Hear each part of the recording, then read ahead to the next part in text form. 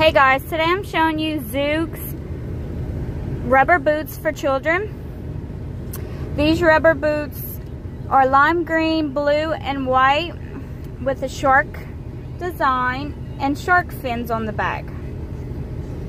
They're dirty because my son wears them literally everywhere we go. It's his favorite pair of shoes. They're easy to put on with its little loops right here. My four-year-old can put them on by himself. They're very comfortable for them. Absolutely adorable. They come in different sizes, different colors, different designs.